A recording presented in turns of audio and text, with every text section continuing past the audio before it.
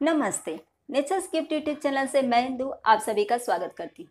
अपने आज के इस वीडियो में मैं नवजात शिशु कब से पलटी करना शुरू करता है, यानी कि रोल ओवर करना किस महीने से शुरू करता है और इसमें हम पेरेंट्स क्या कर सकते हैं ताकि उसे पलटी करने में मदद हो सके, इसी के विषय में जानेंगे। तो चलिए शुरू करते हैं वीडियो। वीडियो शुरू करने से पहले मेरी आपसे एक रिक्वेस्ट है। अगर वीडियो आपको हेल्पफुल लगे तो प्लीज़ लाइक का बटन ज़रूर दबाइएगा। और अगर आप पहली बार मेरा वीडियो देख रही हैं और अभी तक आपने मेरे चैनल को सब्सक्राइब नहीं किया है तो प्लीज़ नीचे का लाल बटन दबा करके आप मेरे नेचर स्किप्ट यूट्यूब चैनल को सब्सक्राइब कर लीजिए और वेल आइकन दबा दीजिए, जिससे कि मेरे वीडियो की सारी अपडेट आपको मिलती रहे। तो चलिए शुरू करते हैं वीडियो। बच्चा तीन महीने में या साढ़े तीन महीने तक अपनी गर्दन को संभालने लगता है। यानी कि जब हम नवजात शिशु को गोद में लेते हैं तो हमें कुछ इस तरह से उसके सिर के नीचे सहारा दे करके ही लेना होता है।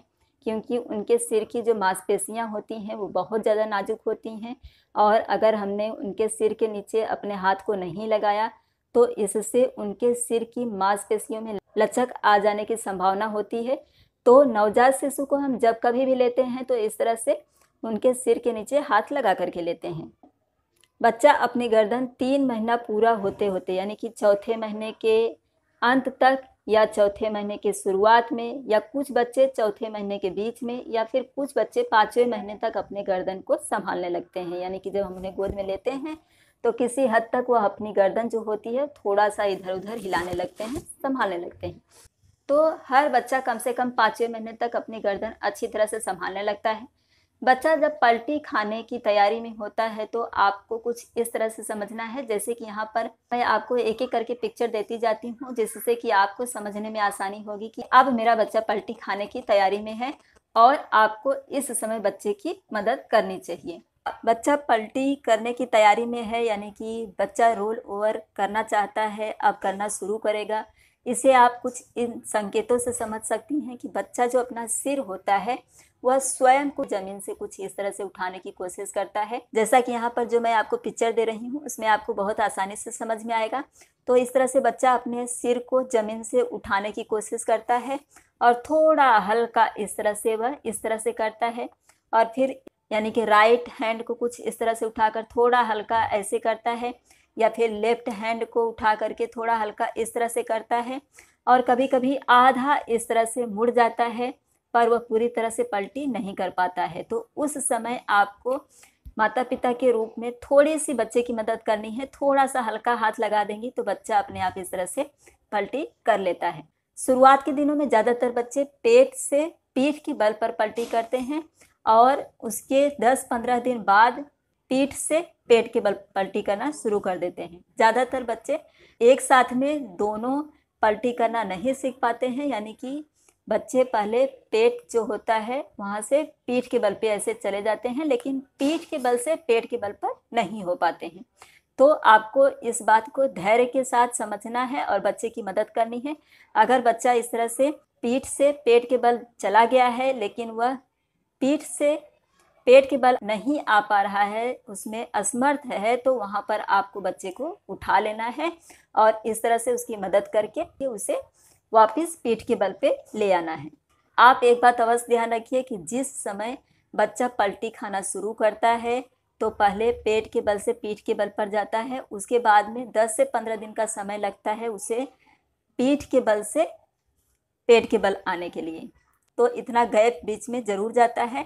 इसके अलावा जो दूसरी बात ध्यान देने के लिए है, वो ये कि जब बच्चा पलटी खाना शुरू कर देता है, उस समय आपको बच्चे को जैसे नीचे जो चटाई होती है, उसे डाल दीजिए और उसके ऊपर थोड़ा हल्का मोटा चादर डाल दीजिए। अगर आप चाहें तो जो पतला गद्दा होता है, उसे आप डालेंगे तो ज़्यादा आसानी होगी।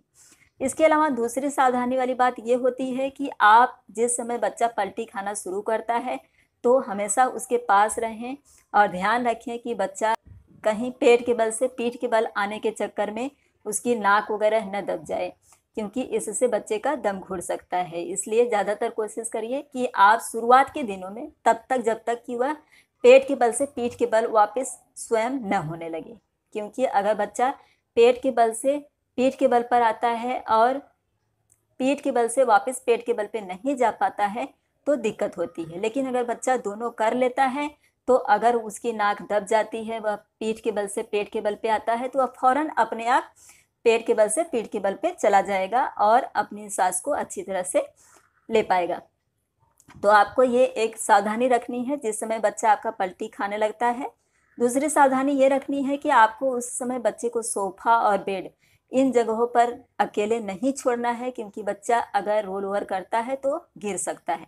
तो ये दो सावधानी आपको अवश्य रखनी है आपको हमेशा उसके साथ रहना चाहिए, नहीं तो किसी दूसरे को बिठा दीजिए और नहीं तो जब बच्चा आपका सोया रहे उस समय आप दूसरा काम कर सकती हैं। तो ये कुछ सावधानियाँ आपको अवश्य रखनी है और इसके अलावा बच्चे के आसपास जब आप उसे रोल ओवर करना सिखा रही हैं तो उसके आसपास कुछ खिलौने इस तरह से रख दीजिए। जैसे कि मेरे पास तो मेरा बेटा बड़ा हो चुका है तो कोई खिलौना नहीं है तो आप बच्चे के पास अगर इस तरह से खिलौने रख देती हैं और उसे जब बच्चा इस तरह से पलटी लेता है, थोड़ा सा आप उस खिलौने को सरकाती हैं तो वह पूरी तरह से पलटी लेने में काफ़ी उत्सुकता दिखाता है। क्योंकि बच्चा जिस समय पलटी लेना शुरू करता है तो उसे एक बात समझ में आती है कि वह कुछ नया सीख गया है, वह कुछ कर सकता है वह एक जगह से दूसरी जगह जाने में सक्षम हो चुका है। तो इससे बच्चे में काफ़ी उत्सुकता आती है और पेरेंट्स को भी काफ़ी उत्सुकता होती है क्योंकि बच्चे के अंदर उन्हें एक नया एक्टिविटी देखने को मिलता है। उनका बच्चा कुछ अलग कर लेने में सक्षम हो चुका है और इससे एक बात ये भी साबित होती है कि बच्चे का जो शारीरिक और मानसिक विकास है, वह अच्छी तरह से हो रहा है। और जिस समय आप खिलौनों को इस तरह से थोड़ा सा सरकाती हैं तो बच्चा धीरे धीरे खिसकना भी शुरू करता है, यानी कि जो बच्चे घुटने के बल पर चलते हैं, वो सीखना भी शुरू कर देता है।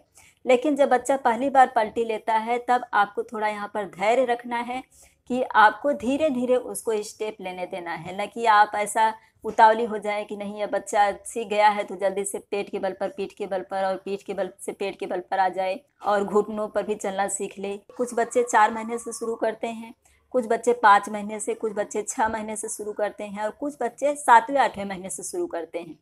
ऐसा नहीं है कि बच्चा आपका कमज़ोर है, कुछ बच्चे थोड़ा, जैसे मेरी भतीजी का बच्चा था, वो हर तरफ़ से सक्षम था, वो बोलना बहुत जल्दी से गया सब कुछ, लेकिन वो जो पलटी लेने की प्रक्रिया होती थी, उसमें उसने छठा महीना लगा दिया। उसे थोड़ा आलस आती थी, जब पहली बार उसने पलटी लिया तो हम सबने बहुत खुशी मनाई कि चलो उसने पलटी ले लिया।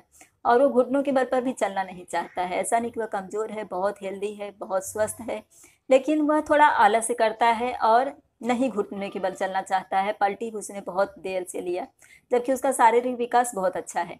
तो अगर आपका बच्चा पाँचवें, छठवें महीने तक न हो जाए, जैसे कि बहुत से लोग कहते हैं, अरे, तुम्हारा बच्चा पाँचवा महीना हो गया और अभी तक पलटी नहीं लिया तो आप इन सब बातों से घबराए नहीं। समाज में ऐसे लोग होते हैं जो सभी को एक जैसा समझने लगते हैं तो सब बच्चों की अपनी अपनी प्रवृत्ति होती है। कुछ बच्चे जल्दी करते हैं, कुछ बच्चे देरी से करते हैं।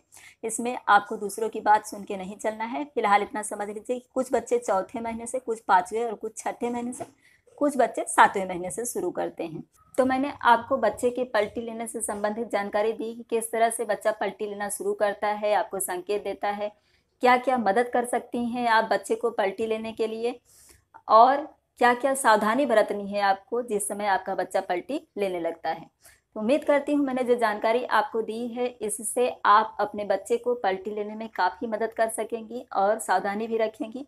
मेरे द्वारा बताई गई जानकारी अगर आपको अच्छी लगी हो तो प्लीज़ आप मेरे चैनल को सब्सक्राइब करिए, मेरे वीडियो को लाइक और शेयर कीजिए।